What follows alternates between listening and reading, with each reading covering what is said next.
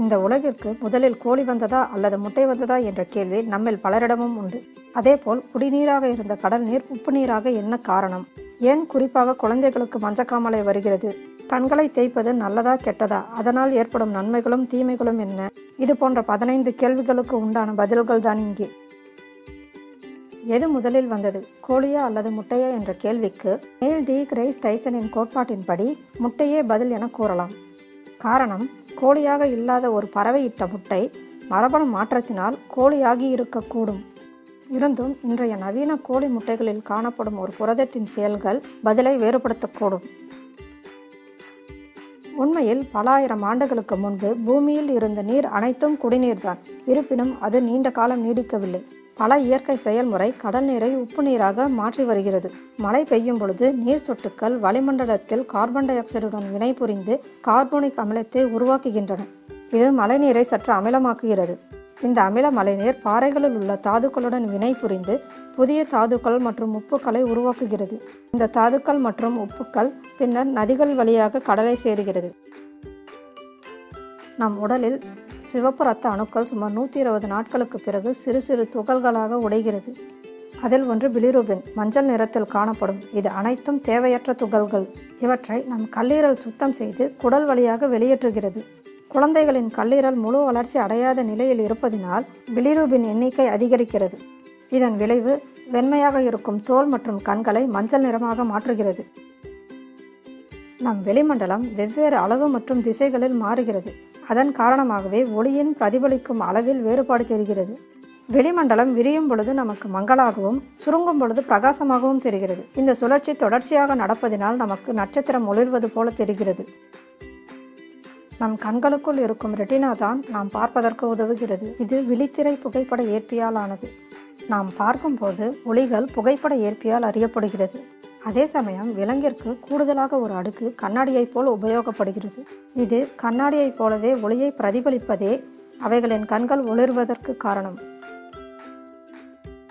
Concave lens உள்நோக்கி வளைந்திருப்பதால் அது வேறு விதமாக ஒளிக்கதிர்களை பிரதிபலிக்கிறது. இருப்பினும் குறிப்பிட்ட தூரம் வரை அது தலைகீழாக பிரதிபலிக்காது. ஃபோக்கல் பாயிண்ட் என கூறப்படும் ஒரு மையப்புள்ளியை கடந்த பின்பே அது தலைகீழாக தெரியும்.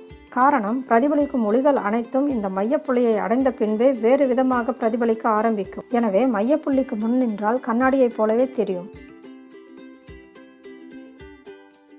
பூமி தன்னைத்தானே சுற்றி கொண்டு சூரியனையும் சுற்றி வருகிறது. இதன் காரணத்தினால் ஒரு நாட்டிற்கு இரவாக இருக்கும் பொழுது மற்றொரு நாட்டிற்கு பகலாகவோ இரவாகவோ மதியமாகவோ இருக்கிறது. முன்னூற்றி அறுபதில் மணிக்கு பதினைந்து டிகிரி விகிதம் பூமி சுற்றுகிறது. இதனால் உலகை இருபத்தி நாலு பிரிவுகளாக பிரித்து ஒவ்வொரு பிரிவுக்கும் ஒரு நேர மண்டலத்தை விகித்தனர். பகலில் பூமி சூரியனில் இருந்து ஒளியை பெறுகிறது மற்றும் வெப்பமடைகிறது. மேகங்கள் இல்லாத ஒரு தெளிவான இரவில் இந்த வெப்பம் வெளிமண்டலத்திற்கு மாற்றப்பட்டு பூமியை குளிர்விக்கும். ஆனால் மேகங்கள் ஒரு போர்வையை போல செயல்படுகின்றன. இதனால் வெப்பம் விண்வெளியில் இருந்து வெளியேற முடியாதவாறு தடுக்கிறது. இதன் காரணமாகவே வெப்பமான இரவை தருகிறது. தீயணைப்பு வீரர்கள் ஏன் புகை நிறைந்த அறைகளில் ஊர்ந்து செல்கின்றனர்? புகையின் அடர்த்தி காற்றின் அடர்த்தியை விட குறைவானது. இதன் காரணமாக தீயினால் ஏற்பட்ட புகை அறையின் மேல் பகுதியை புகை மூட்டத்தால் நிரப்பும். எனவே கனமான காற்று கீழே இருப்பதால் நாம் ஊர்ந்து செல்லும் பொழுது நமக்கு போதுமான காற்று கிடைக்கிறது. பனியில் வாழும் மனிதர்கள் இக்லூஸ் என அறியப்படுகின்றனர். இவர்கள் உடல் வெப்பத்தை எவ்வாறு சூடாக வைத்திருக்கின்றனர்? வெப்பம் என்பது நம் உடலில் காணப்படும் ஆற்றலின் ஒரு வடிவம். குளிர்ந்த காற்று வீசும் பொழுது நாம் உடல் வெப்பத்தை இழக்கிறோம். இதன் காரணமாகவே நாம் குளிர்வது போல் உணர்கிறோம். ஆனால் இக்லோ சுருக்கப்பட்ட பணியில் தங்கள் வீட்டை உருவாக்கி வாழ்கின்றனர். எனவே உடலில் இருந்து வெளியேறும் வெப்பம் வீட்டின் உள்ளேயே இருக்கும். அது அவர்களை சூடாக வைத்திருக்க உதவும். தூக்கமின்மை தூசிப்படுதல் அல்லது எரிச்சலின் காரணமாக நம் கண்களை தேய்க்கலாம். இதனால் நன்மைகளும் உண்டு. இது கண்ணீரின் வெளிப்பாட்டை செயல்படுத்தவும் இதய துடிப்பை குறைக்கும் வேகஸ் நரம்புகளை செயல்படுத்தவும் மன அழுத்தத்தை குறைக்கவும் பயன்படும். ஆனால் இதை தொடர்ந்து செய்யக்கூடாது. காரணம் நம் கண்களின் கார்னியா கூர்மையான வடிவமடையும். இதன் விளைவு கண் பார்வை மங்களாக தெரியும். இதுவே தூசி இருக்கும் பட்சத்தில் நம் கண்களை அதிகமாக தேய்த்தால் குளுக்கோமா எனப்படும் தொற்று வர வாய்ப்பு இருக்கிறது. அப்படி பாதிக்கப்பட்டவர்கள் மீண்டும் மீண்டும் கண்களை தேய்ப்பதனால் திரவ அழுத்தம் ஏற்பட்டு பார்வை இழக்க நேரிடுகிறது. தும்மல் எடுக்கும்போது நம் கண்களை மூடிக்கொள்ள வேண்டும். இல்லையெனில் நம் கண்கள் வெளியே வந்து விழுந்துவிடும் என்று நம் பெற்றோர் நம்மை பயமுறுத்தியது உண்டு நம் கண்கள் கண் எலும்பு சாக்கெட் மற்றும் தசைகளின் பிடிப்பில் இருக்கிறது. தும்மல் ஏற்படும் பொழுது மார்பு மற்றும் தலையில் உயர் அழுத்தம் ஏற்படுகிறது. இதன் காரணமாக உலகில் சிலருக்கு கண்கள் வெளியில் வந்து விழுந்ததாக சொல்லப்படுகிறது. நாய்கள் அதிக நேரம் தொலைக்காட்சியை காண்பதில்லை. காரணம் நம் கண்கள் ஒரு வினாடிக்கு அறுபது புகைப்பட தொடர்ச்சி இணைவு விகிதத்தில் நம்மால் படங்களை பார்க்க முடிகிறது. ஆனால் நாய்களுக்கு அதன் விகிதம் அதிகம். சுமார் எழுபது முதல் எண்பது வரை இருக்கும். அதனால் தொலைக்காட்சியை பார்க்கும் பொழுது படத்தின் நகர்வு மிகவும் மெதுவாக இருக்கும். அது மட்டுமின்றி அவைகளால் நீலம் மற்றும் மஞ்சள் நிறத்தை மட்டுமே பார்க்க முடியும். யானைகளை சப்பாங்குலேட்ஸ் என்று சொல்லப்படுகிறது. அதன் முன்னங்கால்களின் நான்கு நகங்களும் பின்புற கால்களில் மூன்று நகங்களும் உள்ளன.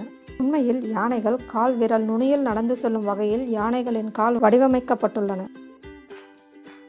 எலும்புகள் நம் உடலில் முக்கியமான பாகங்கள். அவை கட்டமைப்பு ஆதரவை வழங்குவதோடு மட்டுமல்லாமல் ரெட் பிளட் செல்களையும் உருவாக்குகிறது. எனவே எலும்பு உடைந்தாலோ அல்லது ஏதேனும் எலும்பு சம்பந்தப்பட்ட பிரச்சனைகள் வந்தாலோ அதற்கு முக்கியத்துவம் கொடுத்து விரைவாக குணப்படுத்த வேண்டும்.